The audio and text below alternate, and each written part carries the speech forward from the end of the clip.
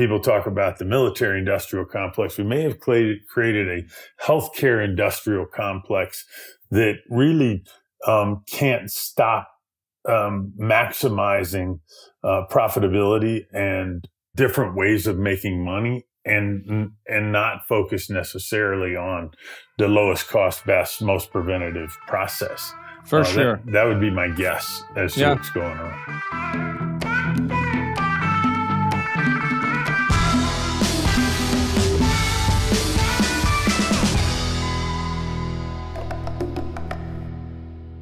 Hey, Bill. Hey, Brad. How you doing, man? Enjoying the summer?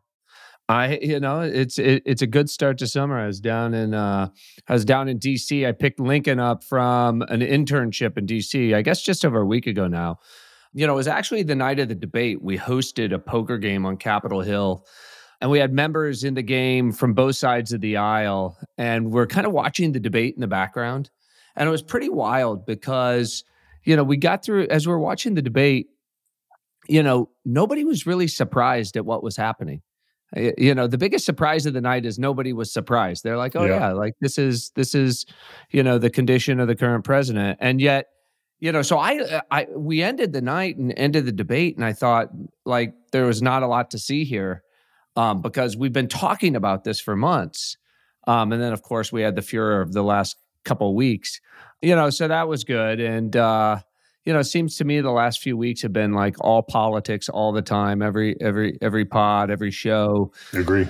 You know, and um, I, I looked at the calendar. We're a few days away from the Republican convention. It starts next Monday uh, in Milwaukee, which is really the kickoff of you know the the final push in the campaign. The Democratic campaign I looked is five weeks from now in Chicago. Um, so it's interesting. Sometimes they're closer uh, and th- this time they're about five weeks apart. And then I counted up, we have 90 trading days until the election. So 90 market days uh, until the election. And so I thought, you know, maybe we kick off here talking about how funds are positioning, particularly technology funds in the public market, are, are, are positioning ahead of the elections. Do you do you believe people are weighing the elections as a critical factor in what they want to be doing with their funds? For sure. For sure. But we'll get into that a little bit because I, sure. you pushed me a little bit on, you know, how much markets are moved by active versus passive dollars, et cetera. And then, of course, you and I have been talking about, a lot of our friends are talking about, I think the biggest debate of the summer in, it, in AI continues to be the thing you've been talking about, I think, for quite some time on this pod, which is, you know, is, a, is the AI hype ahead of the, ahead of the meat? Do you, you know is there is there beef on the burger? and you've been making the case that you know the spending i think and some of the commentaries out in front of the ai benefits and we've seen and we'll we'll we'll we'll, we'll dig into i think a lot of articles out this week on this and then finally maybe um, you know it was about a year ago that i was talking about uh, a topic near and dear to me this calcium ct scan and why it should really be standard of care for people over 35. I sent you a video, um, you know, on on some of the politics of why calcium CT scan, partly because of stent and partly because of other things, right. um, didn't become the standard of care. And I thought, you know, maybe just as a little bit of a summer uh, wrap, we'd we'd revisit a couple topics on that that have come okay. up. Okay, sounds great. That's awesome. Do you want to lead us in? Yeah, I mean, tell us tell us where you think the markets are right now. Um, I, I, agree with your point that politics have dominated the conversation so much. It's almost like people aren't even aware of whether the Nasdaq's up or down in a given day or a given week. It's not really on people's mind.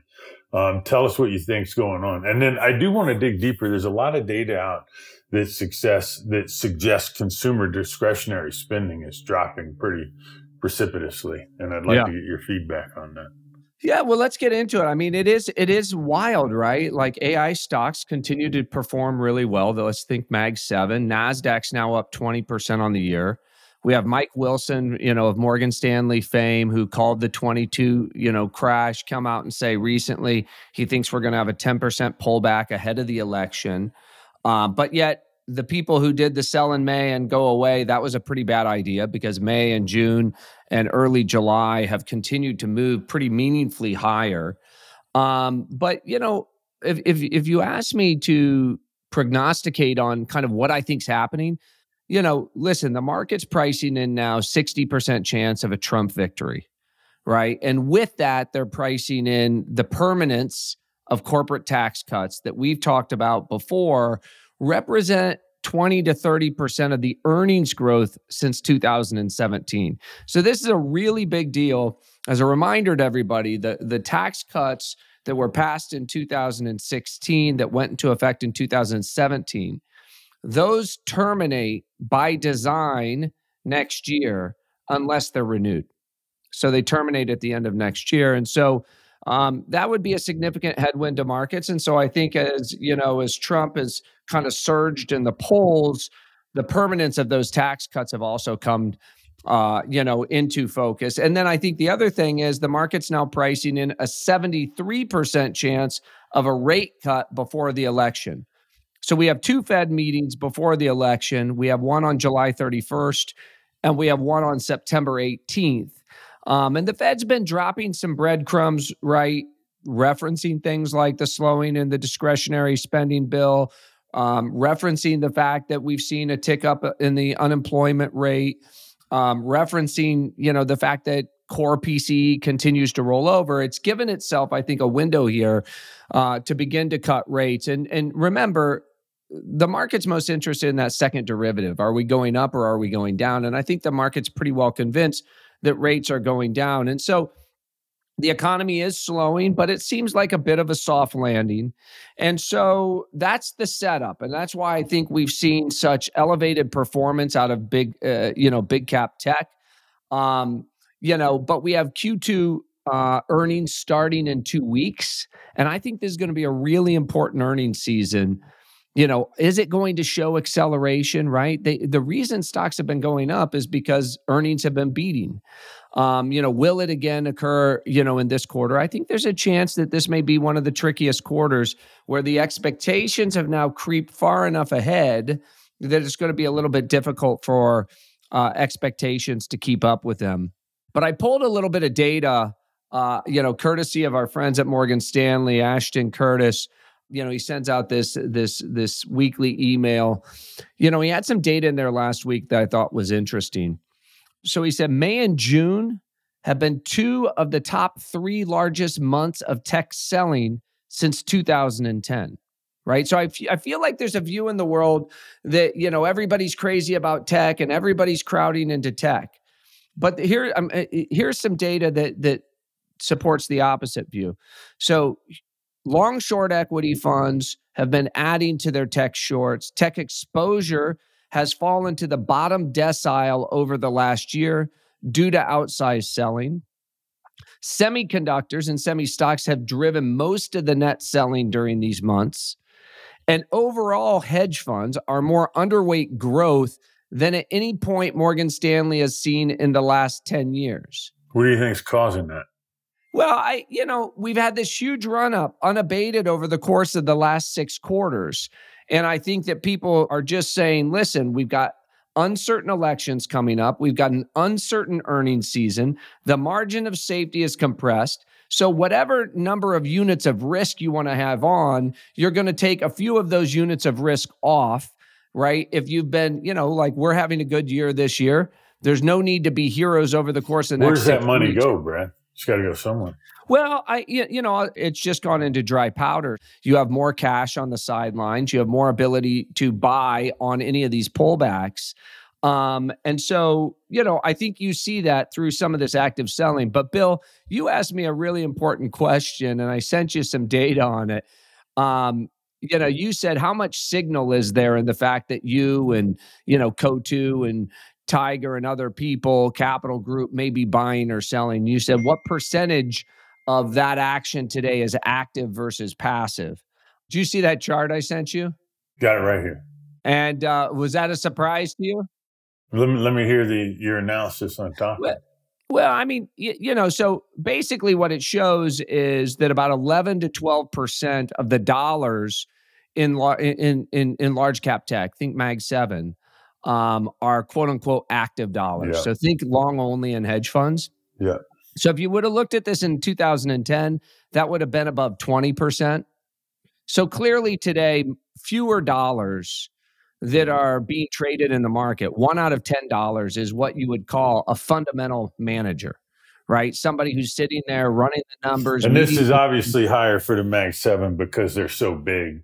And so if you're buying an index, you're buying more of them than you would have. Uh, on a on a percentage basis, I think that's I think that I think that's probably true. And so I guess the point would be, or you know, the pushback that you gave me is, yeah, these are interesting data points out of Morgan Stanley, but it may not tell the whole story because if fund flows continue to come in, right? If people generally are saying we're go- we feel good about the markets, we want to continue to invest in our 401ks, we want to continue all of these dollars passively flow into these ETFs. And so fund flows have continued to be strong as markets have gone up. So there was this tweet, you know, that that you sent me which is kind of the tale of two cities, right? Um, it's what you referenced earlier. If you look at consumer yeah. stocks, from McDonald's to Nike to Lululemon, SoFi, Walgreens, Papa John's, just in the last week, they all hit 52 week lows. Yeah. Right. And then there's a group of stocks, which is uh, casual dining stocks, um, which are, you know, really that mid market, that mid market, the PF Chang types. exactly. Yeah. Exactly. And the Papa Johns of the world that are down, you know, 30 to 40% on the year. And remember, a lot of what happened here, Bill, is this is the pull forward that happened in 2021 because of COVID. We had huge build outs in these businesses. Earnings went from flat to really accelerating in these businesses, and everybody started valuing them at kind of peak multiples like they were growth stocks. And then what we have now is oh, got a little dog action over there. Yeah. What, what, what, what we have now is them really just normalizing, I think, back to trend. Um, and so, you know, I, I think we have a good chart here, courtesy of Goldman Sachs, which shows the earnings growth over the course of the last 12 months. So if you look at it for Microsoft, Nvidia, Amazon, Google, Meta, earnings are up 38% over the last 12 months. And the stocks, not surprisingly, are up a lot. If you look at the S&P 500 as a whole, earnings are you know roughly flat during that period of time. And if you look at if you take out those tech stocks, the other 495 earnings are actually down 5%. So that's the reason there's this massive dispersion in the public markets. And the reason shorts have worked so well this year is you could be short hundreds of these S&P stocks that are actually down on the year and long just the Mag 7 and you'd be having a terrific year. Is there is in your mind is there a not an implication of this that is a question about the broader economy. I, I also saw a, a, um, a, someone had tweeted out some credit card data, and one of the things that was down year over year was travel, uh, a, a, sector you know quite well. Um, so is there is there is is part of what's happening with these casual dining and these consumer stocks a lack of spending? Is that something you're For worried sure. about? For sure. I mean, listen, we everybody if if you look at folks other than you know uh, uh you know wealthy folks in this country they burned through their stimulus checks right? Their excess savings are gone.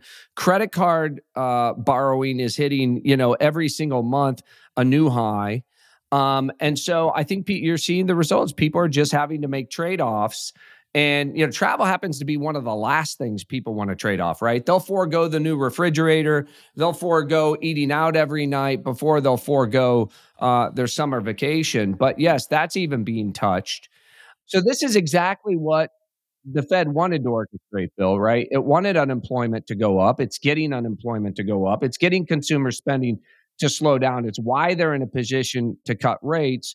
And uh, the gift that the markets had really is that at the same time, like we would otherwise be talking about a recession, but we had this surge in infrastructure spending around AI, right? Which gave life to all of these technology companies. And one of the things that, you know, we're going to put this chart in here. One of the things that you asked me is, you know, is the big PE, you know, names, are they overvalued? And so I asked my team to go through an exercise, look at the peak multiple that they were trading at in 21 Q4 21. Look at the trough multiple they were trading at in 22. And then where are we today?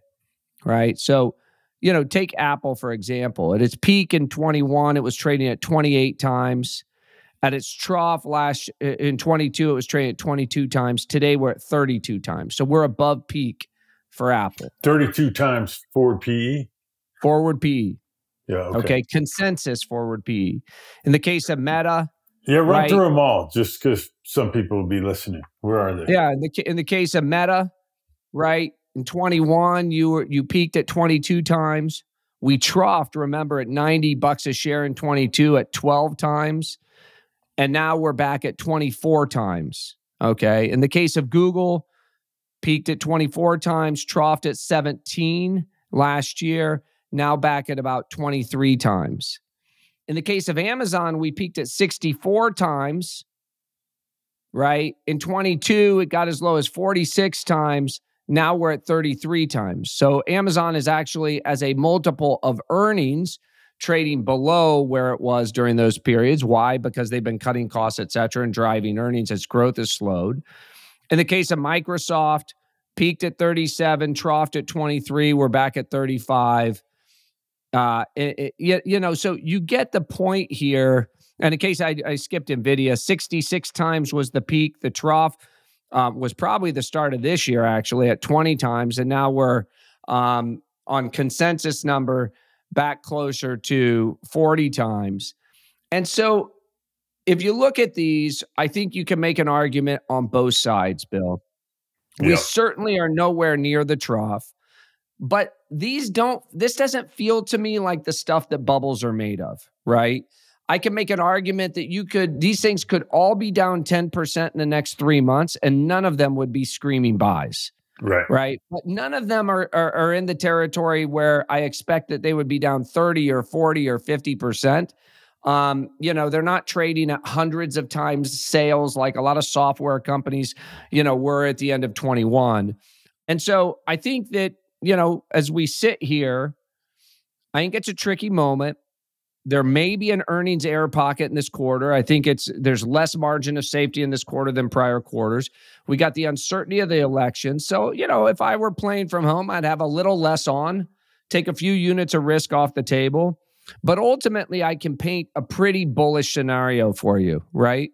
How do you how do how do you how do you frame the fact that that um you know it's the same thing we've been talking about for several quarters now, where you've got these seven stocks that are performing, right? They're performing from an earnings growth standpoint, from a cash flow, free cash flow standpoint. Yet, you know, what we just talked about, the rest, the entire rest of the market's not.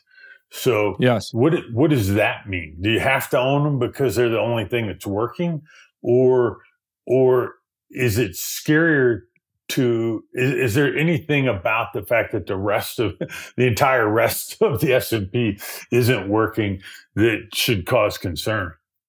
Yes, I think it should cause concern other than the fact that the Fed is in a very enviable position from a monetary policy perspective to cut rates and add some juice to the economy when it needs to. And I think that's what's going to happen, which is part of the bullish scenario, right? The market is saying there's a 73% chance the Fed's going to cut rates. And the reason for that is unemployment's ticking up and you have 490 stocks whose earnings are not growing. And that is a recipe for more economic distress if we don't get in front of it. How, how, how do you, if you're looking amongst these seven, are you, are you willing, I'd be curious if you're willing to make a comment like, uh, which one, and, and, and, and maybe with the backdrop that AI might be driving some of these, which ones feel safer to you here?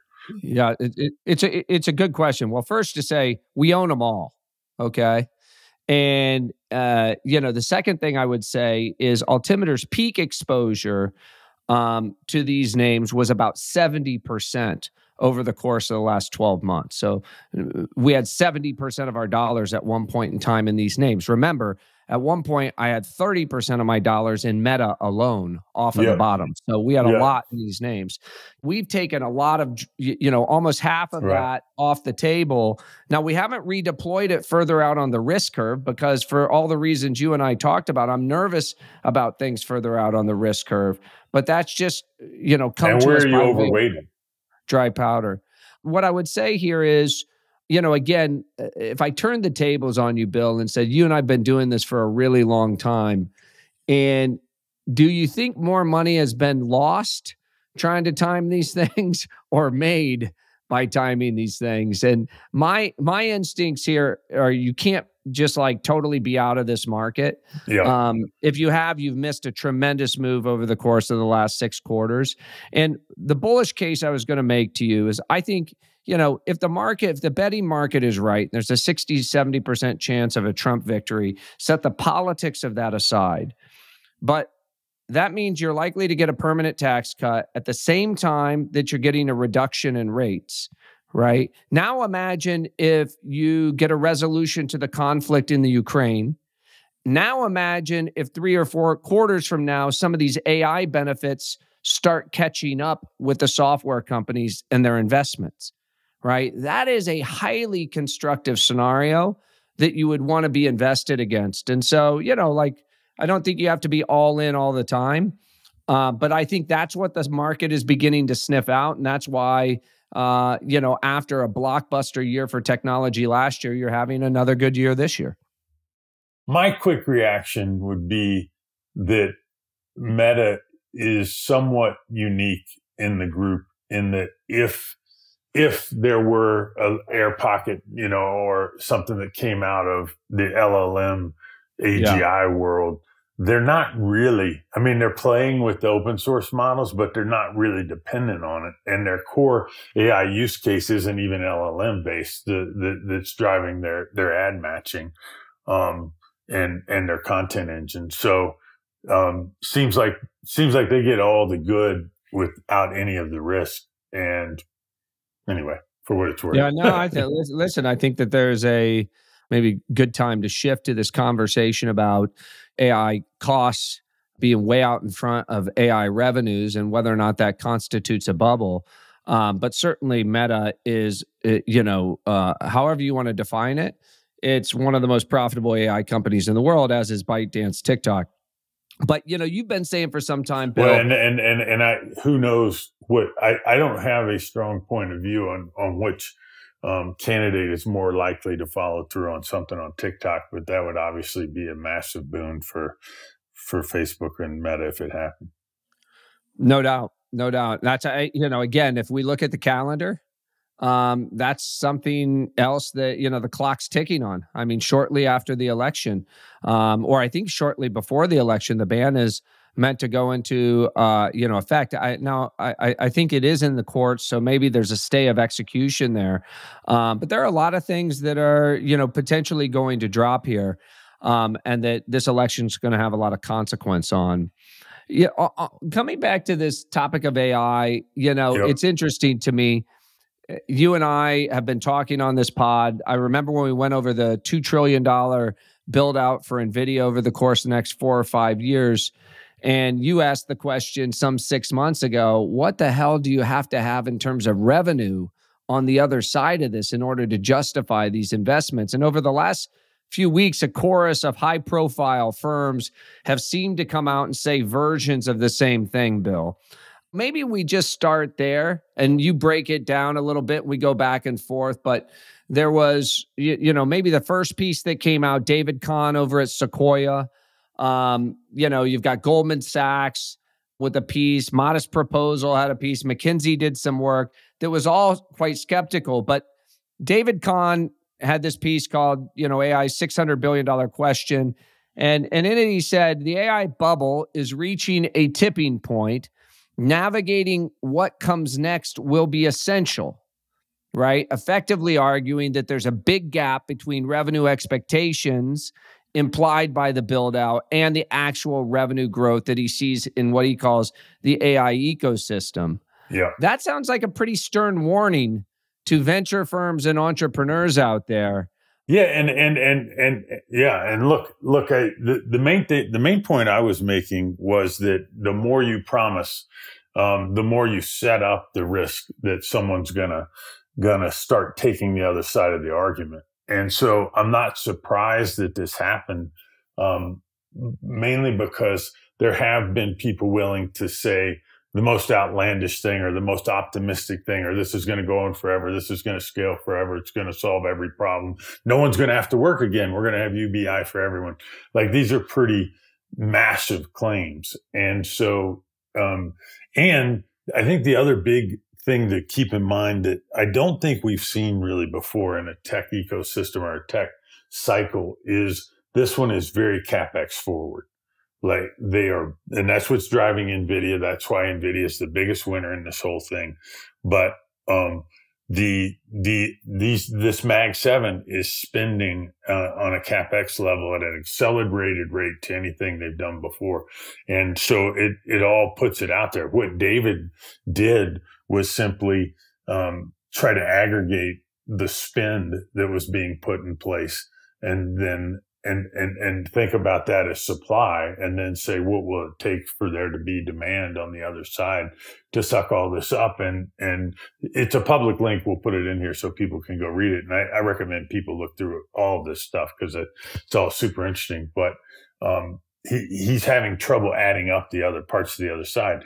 And I think one reasonable question to ask is why would someone at Sequoia uh, go out on a limb with a pessimistic view. We all know that the competition to get get into whether it's early stage, mid stage, or late stage um, deals is is somewhat dependent on your ability to um, to be seen as an optimist and to be seen as someone that's that has a positive point of view. And so, you know, why why would someone take that that point of view. And I, I did, I reached out to him because I was just curious about it. And his view, which actually is somewhat sensible to me, is if you let the markets run crazy, um, you end up with a higher risk of a reset. And, and I will also tell you, having lived through, um, what happened with SoftBank and, and the last cycle, um, having crazy money in the market is, not necessarily consistent with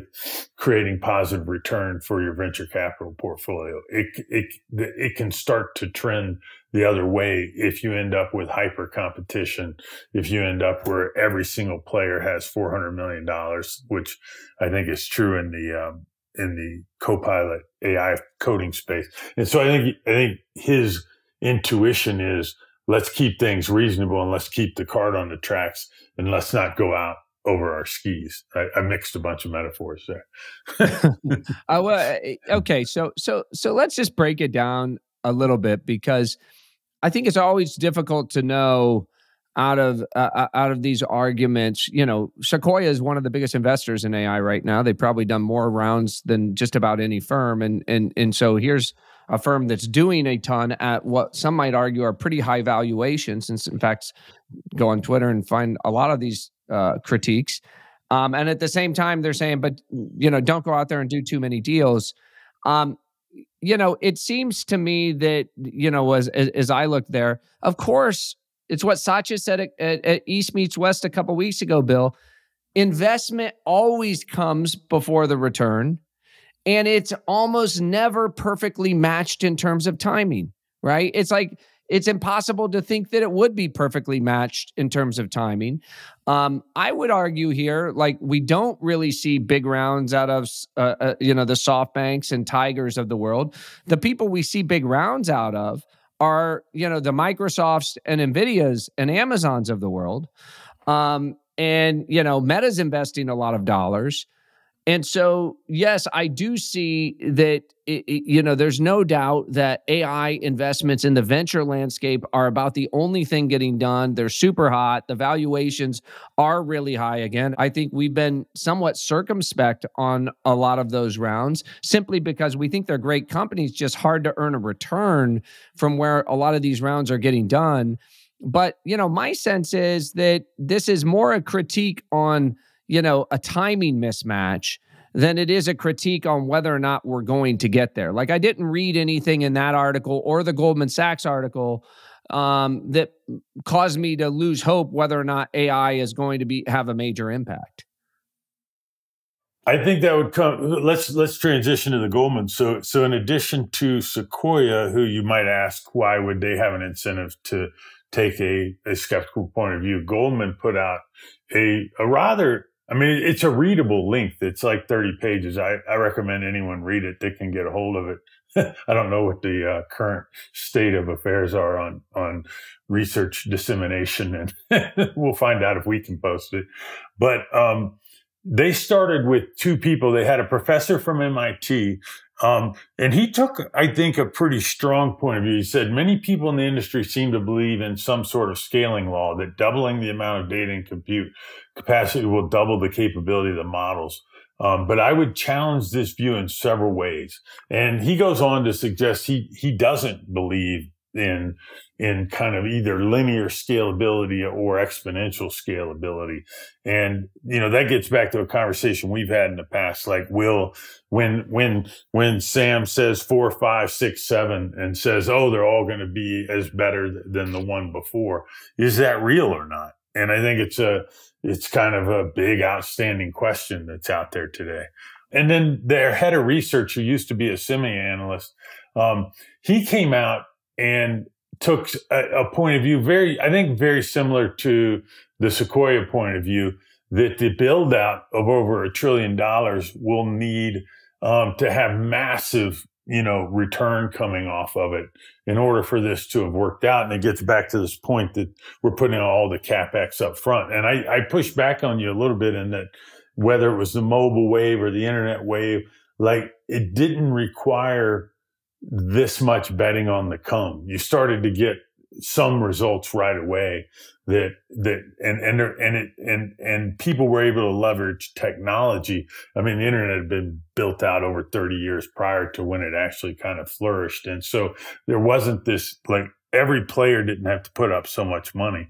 Um, so, so, so let me let me just a, a, couple quick comments. First, we got an MIT professor saying, "I don't know if I believe in the scaling laws."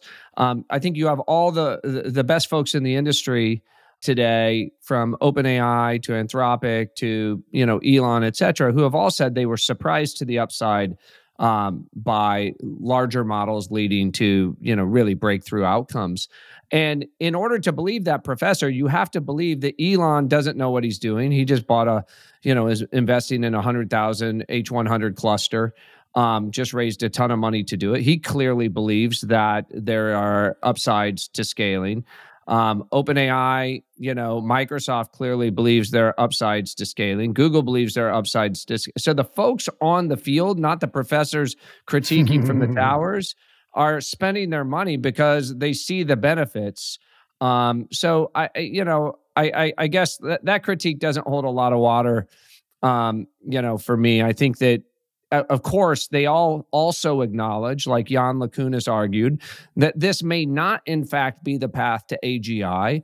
And we don't know how many more, you know, rounds of scaling are going to continue to lead to enough beneficial improvement to justify the incremental spend.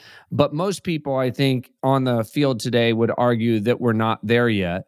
And then the second thing is, um, it's not true to say that prior cycles didn't have big investment. I mean, by our analysis, for example, just Amazon spent over a $100 billion on AWS um, invested for over eight years before they saw profitability in that business.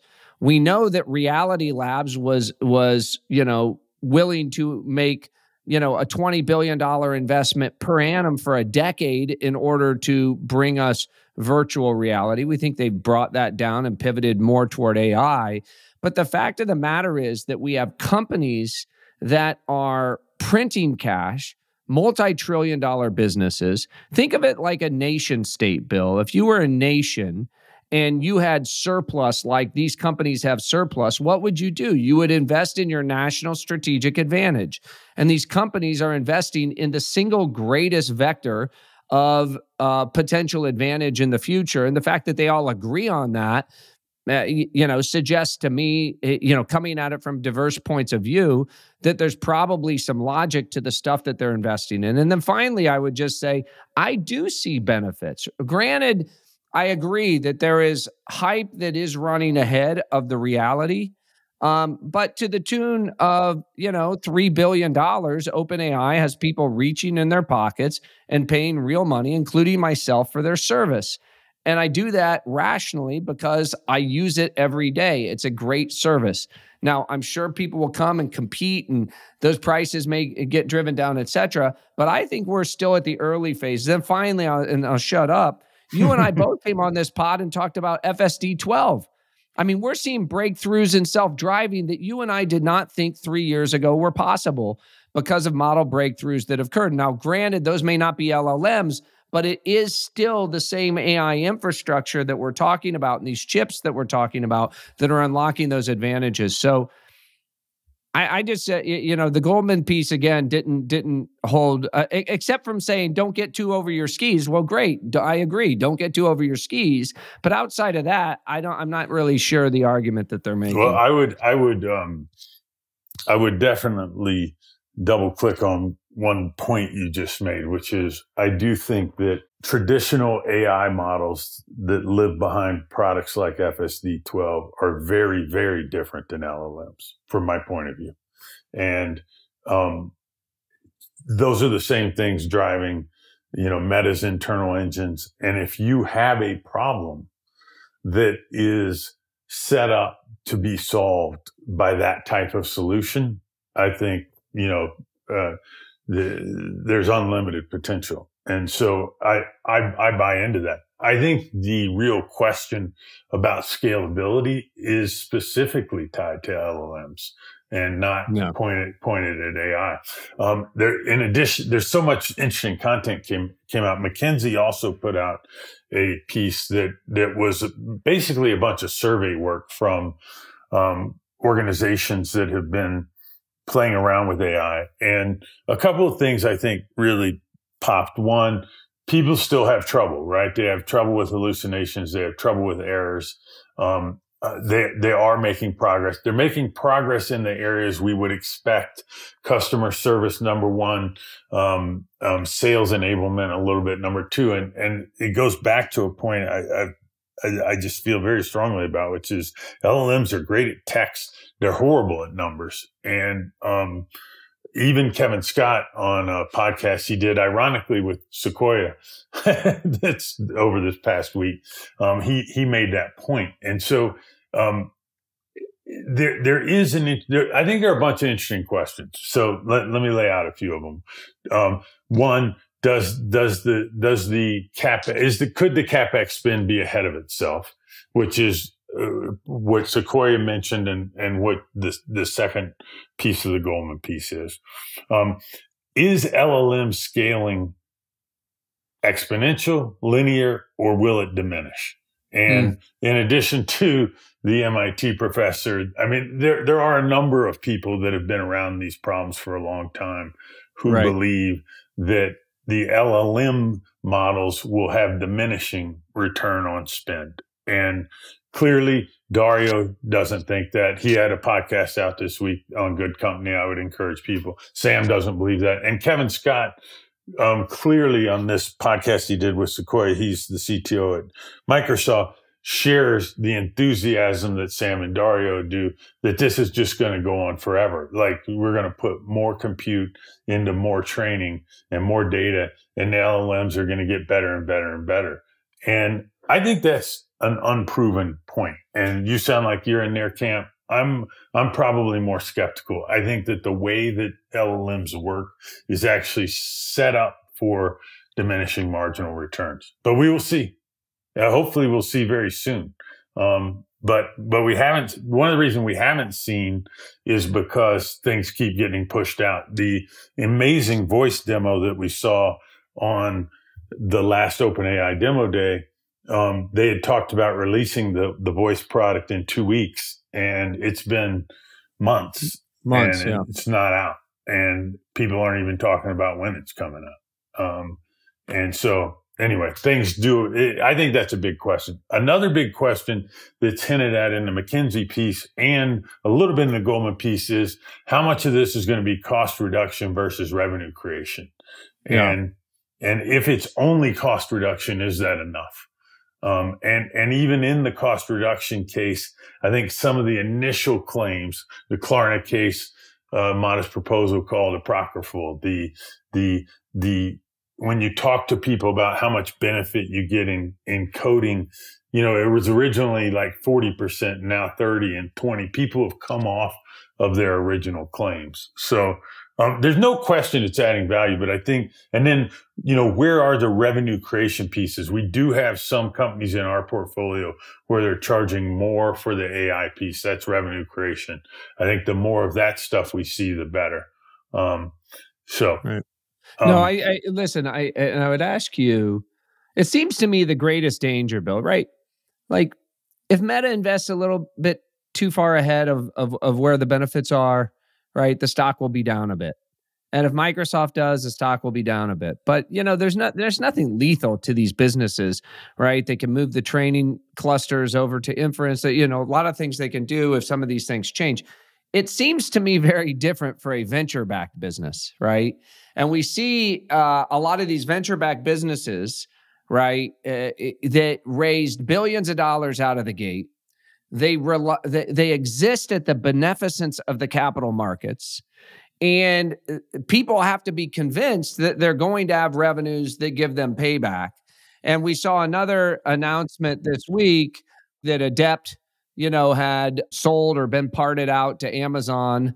We've seen this with a couple other businesses um, you know, that are effectively, it seems to me like take unders. Did you have any perspective on that? And it seems to me if, if there's real risk in the ecosystem, the risk is to all of these venture backed companies because they're the ones who have to become self sustaining. The guys in the public markets, these are trillion dollar businesses throwing off tens of billions of free cash flow a year. Um, you know, if they waste a year's worth of spend, right? That's not a question of existence the way you're it right. is for these venture backed businesses. You, are you're right. Um, look, the adept thing is, um, which was positioned by the press as similar to the inflection outcome. There's no way that's a win for venture capitalists. Like I'm sure venture capitalists try and spin it, and we heard some spin around inflection, but it, you know, I Uh, it's just not possible. I mean, we need to be realistic. Like if you're a venture capitalist and every one of your deals turned into one of these weird human acquihires with a license deal back, you're, you're not going to generate a return for your portfolio. Like it, it, it's best case, you're, this company had raised 415 million dollars. How much are they going to pay for the license deal? And then you leave this thing kind of pseudo alive like and then the people that are running it are you going to demand a dividend on that amount? Or like how do you get like there's no way this is uh optimal or even even really something you should celebrate. And um it, is driven i suspect by the um the limitations on acquisition by the big players. And so this is but but but it's also um it's just an alternative to a low price sale. It's not a win. Um, and, and, and I wonder, you know, if part of it is the founders raising their hand and saying, and if you read the press release they put out, it kind of says this, like they're kind of afraid to be on the field, you know, where to your point, right? And, and, and when you put this much money in these companies and you raise, I've said this a lot and I, I'm sure I borrowed it from someone much smarter than me. You know, valuations represent discounted future expectations. They're not an award for what you've done in the past. And so if you exactly. raise at a billion, if you raise at 2 billion, if you raise at 14 billion, the you have to accomplish to to live up to that expectation you just signed off on is really high and so you have to find revenue you have to find performance and um and it may or may not be there and so I I agree. I mean, I, I, think I think you phrased it the right way. The this is where the risk lies, um, and and and and the playing field is difficult to understand. I mean, if you listen through all this content that came out, even in the past two weeks, the, the, you know, Kevin Scott made a comment very similar to one Sam made a while ago, which is don't try and add value just a little bit or don't he even he even said in this thing don't go do a small focused model on you know let's say a particular vertical because we're going to keep investing in the in the foundational model and it's going to it's going to be great at everything. It's going to be great at the big stuff, but it's going to be great at that focus stuff and we'll run over you. And so where are you supposed to go? like if you can't focus and you can't add value, you know, Sam said people are using only X percent of OpenAI. you need to use 90%. But what is it you're doing if you're using 90% of the other model? I don't know. I don't know where you're headed, uh, as a startup. So it's a, it's an interesting playing field. Well, I think that um, I think it's well said, and perhaps that if if we had to tease out a red thread um, that I think is actionable from all of these pieces, the Goldman piece, Sequoia, you know, McKinsey, et cetera, you know, it is just an acknowledgement that things have run up a lot, that billions are getting invested in venture, that we're back to high valuations, that expectations are going up, that public multiples are going up. And, you know, we're getting closer to a reckoning and it could fall either way. But the distribution of probabilities make this a more challenging time for the, you, you know, for those venture companies that are lucky enough to raise at these high price rounds. But, uh, but, but let me just shout out you know, one that you and I, you know, met with Bill, uh, which is Arvin from Glean. You know, uh, here's an example of a company that I've talked to 10 of their customers. They absolutely love the product. They're getting, uh, you know, real benefits. They would not want to give up the product. You know, it's enterprise search meets AI. Yep. And I do think that there's a lot of real work getting done under the covers. And I see with them, like I see with OpenAI, with uh, uh, you know, with some enterprises and with lots of consumers, that feeling of magic mm-hmm. that it really changed. Um, you know, our friend Rich Barton said it's the one piece of software he couldn't live without. Right? Like that's you don't hear that out of CEOs very often. Yep. And so, you know, uh, I think kudos to the guys who are grinding and creating that. But I do think that there are a bunch of folks. I see a bunch of grifting, right? In the AI landscape, right? It, it, it's where you can raise money. They're raising money at high valuations. I do think that the mortality rate in AI is going to be very high and the winners are going to be uh, incredibly large. And if this is all as big as we think it is, this is going to play out over decades. This isn't going to play out over the course of the next 10 days. And, you know, again, I'll just repeat the warning Satya gave East Meets West. You know, he's like, I'm a total believer but I also am preparing the company that we may have to have a big drawdown between here and there. Um, you know, if these things aren't perfectly sequenced. And I think the whole ecosystem needs to be prepared for that. Yeah, fair enough. You know, I got a note the other day um, that that really impacted me. And, you know, I've been talking a lot about these calcium CT scans, you know, and just in the spirit of mixing it up a bit, you know, Bill, you heard me talking about them a year ago. You got a calcium CT scan. So many folks I know have gone out and gotten one done. And, but this was a woman who said, you know, she got it done. She didn't think women were really at risk, but I, you know, she had heard me mention it enough times. She thought she'd get it done. She got a score in the 900s. It really scared her. She found a lot of plaque and blockage. And so I did a little bit of digging. And here was the thing that a, a stat that blew me away. Five times as many women die of a heart attack each year in this country as die of breast cancer. Five times as many hmm. women die of a heart attack in this country versus breast cancer. And while the mammogram is appropriately and widely accepted as standard of care, right? Very, very few women do a calcium CT scan, which I might argue, or I've heard argued, is the mammogram for the heart right? David Maron, Dr. David Maron, the head of preventative st- cardiology at Stanford, says it's the mammogram for the heart. As a reminder to folks, it's 150 bucks. You can Google, um, you know, calcium CT scan. You can get it done at any number of clinics in whatever towns you live in. I've had hundreds of people over the course of last year text, email, and they just found things. And it, you know they they found either blockage or plaque or other things that they didn't know were going on with their heart but even the folks who came back with a zero score say i'm so happy i did it because I'm I'm at ease. Like I know what the situation is. And we've all been trained to track this cholesterol, which is not predictive of heart health. Right. And people people put you straight on medication off of a cholesterol score. Fast.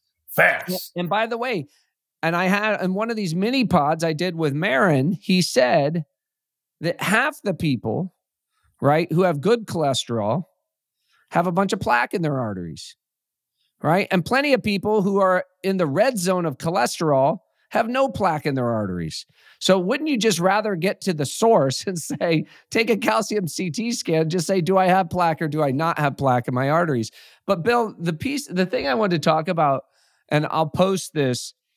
There's a documentary on YouTube I would encourage people to watch called The Widowmaker, right? And this refers to the artery which most often gets blocked and causes a lot of death.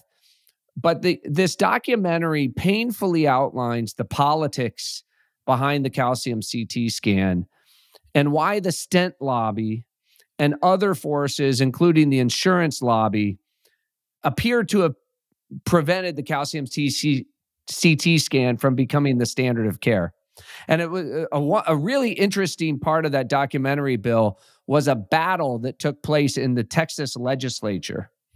You have the head of several medical institutions, um, you know, that kind of went to war with the state of Texas because the state of Texas passed legislation out of both houses that would have required the insurance uh, companies to cover the 150 bucks for these calcium CT scans. So this is just it's another interesting place if you have 45 minutes and you want to see how government can get in the way of technology um, and how a bunch of vested interests try to keep this from happening, um, I would encourage you to watch it. We'll post we'll post the link. What's your um, thesis as to why the establishment is non-supportive of a low-cost preventative scan? Well, what I've been told by heads of cardiology at Harvard and Columbia and Stanford and all the folks I've talked to, right? I ask them all a very simple question What do you do for yourself, your friends, and your family? Just tell me your care, standard of care for yourself, your friends, and your family. And 100% of them follow the same protocol, which is a calcium CT scan no later than 40. And if they have any signs of plaque, they go on a statin to reduce their LDLs, their bad cholesterol, as low as possible. Um, and so I actually don't think the established establishment cardiologists, right, um, are against it. I think that there are some folks connected with various lobbyists, right? The stent lobby. Um, now there was there was a trial around stents bill a few years back called called the Courage trial, which basically disproved that stents are actually that valuable. What they found was that a calcium CT scan and medical intervention was at least as valuable as a stent. So, for example, I think today most people will not even have stents put in, even if they find high, you know, rates of plaque. They'll just do it through statins, et cetera. But I, you know, it's interesting. I've asked them why they want to, you know, spend as much time with me as they have, and they said because you can get the word out, right? Millions of people are losing their lives and it can all be prevented by taking a calcium CT scan. But this then, thing, this thing's cheap and fast. So I don't think you really answered the question. Like, what's the, why would people be against it? Like, what's the point of being against it? What's, I, I, listen, I think the economic point for being against it is insurance companies don't want to pay for it. Um, uh, the the folks who are in the business of repairing the heart after the fact, like those in the stent business, right? It's good for their business that you aren't preventing it medicinally. Um, and then finally, I think, Bill, it's just never underestimate the inertia of the way things are. You know, my mom, 88 years old, she goes to a doctor and I, I said, Mom, why are you taking this medication? She said, I don't know. It's just what the doctor tells yeah. me to take. Yeah, I hear you. I, and, I, I, I don't I don't buy into the insurance one just because I don't actually think insurance companies are interested in cutting costs. They make a percentage of what is spent, and the more the merrier. The more that's in there, the merrier. Um, I do think that the medical industry, I, I, I listened to this podcast once. I, I, need to find it, but, um, where a gentleman argued that over 90% of NIH grants go towards things that are potentially monetizable. So either a product or a drug and that the NIH is less interested in funding things that might be, um, just preventative behavior, like behavioral things, like what you eat or your diet or things that, that don't lead to monetization. And we may have created a, people talk about the military industrial complex. We may have created, created a healthcare industrial complex that really um, can't stop um, maximizing uh, profitability and and different ways of making money and and not focus necessarily on the lowest cost best most preventative process for uh, sure. That, that, would be my guess as to yeah. what's going on. There are a bunch of states that seem to require referral. You know, most people, a lot of people don't even have relationships with a doctor. This is particularly acute in poorer communities. Um, and so, you know, if you want to get a referral, you can simply Google referral calcium CT scan. There are tons of referral services on the internet. Cost you 20 bucks, you get yeah. a referral. But yeah. I would encourage you, most imaging centers, you know, uh, if you follow me on Twitter at AltCap, you'll see uh, just search calcium CT and you'll see people from almost every city in the country who've posted where you can get them in their city, the cheapest price you can get them in those cities. There's a mobile unit up in, in Seattle that does it for 55 bucks. Walk in, no referral needed. Um, the bottom line is, uh, you know, I have no no dog in this hunt except for the fact that I lost my father way too early to heart disease in a situation that was 100% preventable. Um, so I wanted to have this done for myself, for my siblings, etc. I had a low score when I got the calcium CT scan done. I went on a statin; it reduced my LDLs, and I'm in control. And I have the information, and I can watch this longitudinally. And I was shocked to learn some of these facts behind the scenes as to why it wasn't being uh, treated as a standard of care. And so, um, you know, if we can move the ball down the pitch just a little bit by spreading the word out there, it is simply one of the easiest things you can do. And I think you should really think of it as the mammogram for the heart. And as seriously as we all take things like colonoscopies, prostate you know, exams, mammograms, etc. This is the number one killer in the world by a long shot. Um, so the fact that we're not doing the preventative care on it uh, makes no sense. Good seeing you, man. Yeah, great seeing you, and thanks for doing that. Hopefully, hopefully you save some lives. Let's get her done. I'll talk right. to you soon. Take care. Bye bye.